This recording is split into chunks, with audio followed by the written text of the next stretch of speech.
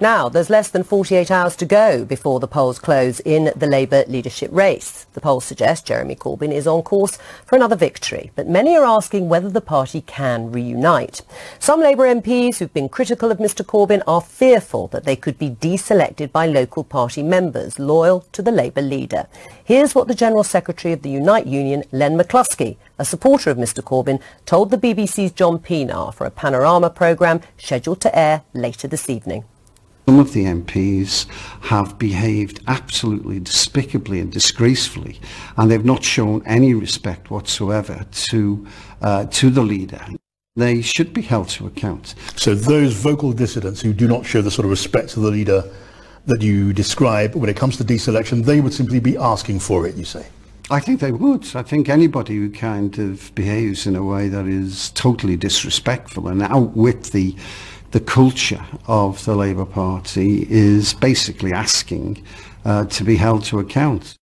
McCluskey there. Well, with me now is Richard Angell, the Director of Progress, Labour's centrist pressure group, and Barbara Ntumy from the campaign group Momentum, which grew out of Jeremy Corbyn's first leadership campaign. Welcome to both of you. Richard Angell, first of all, let's pick up on what Len McCluskey said. Isn't he right that Labour MPs who are openly critical of Jeremy Corbyn's leadership are asking to be held to account by their local party membership? Len McCluskey wasn't particularly supportive of some of the previous Labour, Labour leadership there, and Jeremy Corbyn spoke truth to power when he was a backbencher in the Labour Party. This has got to be a broad church party, and we've got to all be able to have different ideas. Uh, as long as we're constructive in those, that must be important going forward. You know, people have tried to serve on the front bench, but found time and time again frustrated by doing it, which is what led to the situation that happened when we left the EU. Um, Going around threatening to deselect MPs is not fair or right. Right. I mean, isn't it the case, Barbara, that you would have a sort of monoculture within the Labour Party if everybody thought the same way? And it is true to say that Jeremy Corbyn didn't support any of the recent Labour leaders, but there were no calls for him to be deselected.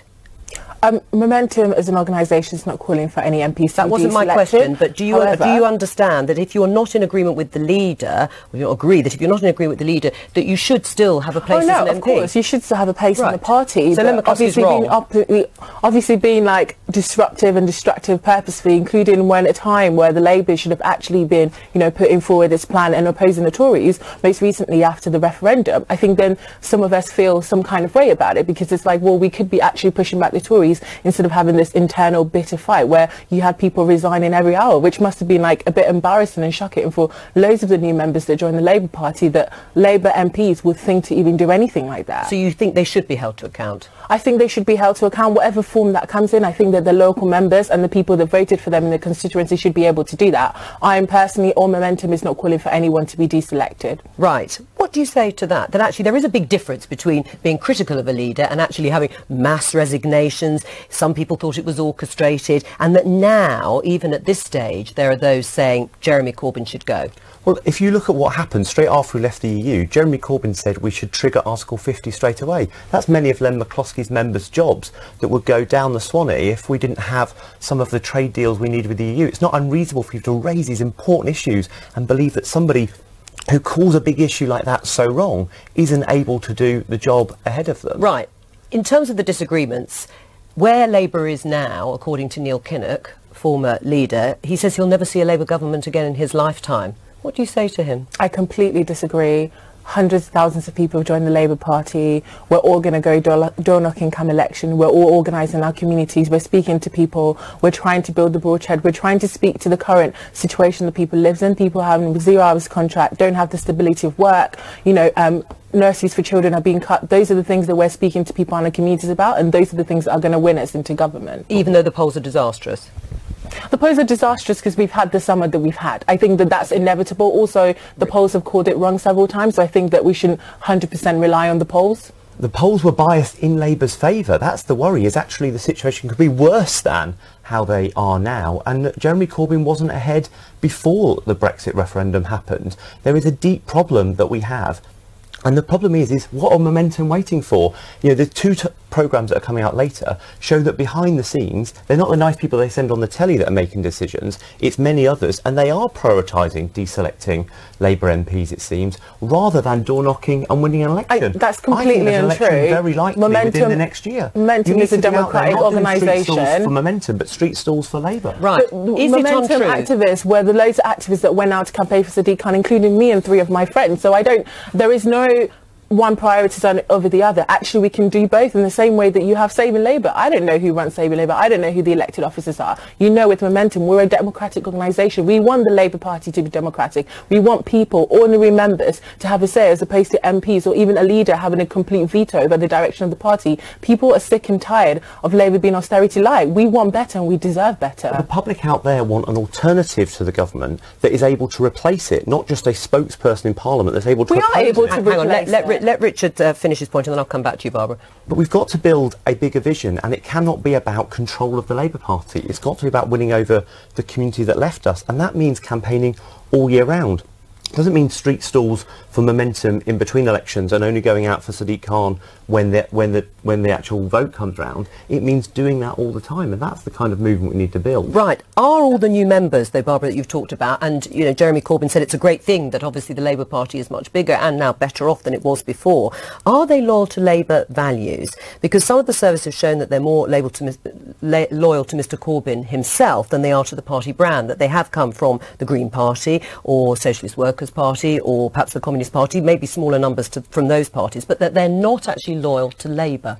Labour's founding policy is that it's this ultimate socialist democratic party, and I think that that's what most people are loyal to. However, there's been a difference in how that has been interpreted with the different leadership we've had over the years. So I would 100% say that all these new members are loyal to Labour because what Labour stands for and what the leader stands for are things that are marrying each other as opposed to things that are opposite ends, or as opposed to things that are trying to be like the Tories and not actually Labour values. But the leadership of Momentum turns a blind eye when the Alliance of Workers' Liberty are actively organising within Momentum and therefore the Labour Party. There's a kind of Russian doll politics where somebody from AWL turns up to a Momentum group that controls the left group in their local party that then gets to decide who the delegate is to Labour Party conference. Right. That's not tolerable. Let me um, ask you, do you think peace is going to break out in the La- Labour Party? It's really silly. There's a lot of there's a lot of silliness going on here. You know, the, the, I think everything you're talking about is in the dispatches program, I believe. Um, now, the AWL, the, the, the idea that the, the idea that that representative, it, she's some kind of dangerous trot,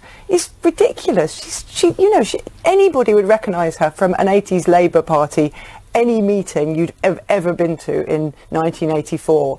There's there's no kind of dangerous subfaction. There are people who believe things more trenchantly than other people. I don't think Momentum is. The Momentum, you know, the guy they've got on the dispatches program, apparently from Momentum, talking about deselections, isn't, isn't actually a member of Momentum. But does this mean that So they can reunite? I mean, the point is, if Jeremy Corbyn is, is, is, is holding out an olive branch, um, and you've got a Labour MP like Peter Carl saying Jeremy is the first person I've come across who uses an olive branch as a weapon to beat people with because he says he's had so much abuse from within his Labour Party locally, does peace have a chance within Labour? I think peace has a chance if everybody just takes the temperature down a little bit. It's Are they going to do It's that? completely ridiculous. You know, you can't look at an army of activists and write them all off as revolutionaries and say, I'm not interested in you. You've got to be a bit more curious and open about what, who Momentum actually are and what they want to do. And, and it's really important. It's, if, if you're a kind of party that worries so much about whether a Green is really true Labour, that you can't accept their membership, you have to ask what your values actually are. Just briefly, Bob, before we let you go, Jeremy Corbyn acknowledged at the weekend that he had discussed the futures of Tom Watson, the deputy leader, and Iain McNicol, the general secretary, at a recent meeting. Do you think they should stay in their positions, those two? I think that loads of people, like myself and my friends, will feel that people that have been told that they can't vote or can't be members of the Labour Party because they might have tweeted or anything else, and those decisions have been made from the likes of Iain McNicol. But should I they think stay in it- their I think I Why think it causes I think it causes a question. I. I don't disrespect I don't disrespect Tom Watson's Monday. I'm not saying that he should go. I think that there are issues around the way that people have been treated that really needs to be looked at. And if people can't act fairly, and I think that that's something that we need to have a discussion about, about whether they are there to serve the party or they're there to say, well, I, this person right. has tweeted about the Greens, so they can't, they can't possibly have Labour values. And I think that that's wrong. Thank you, both of you.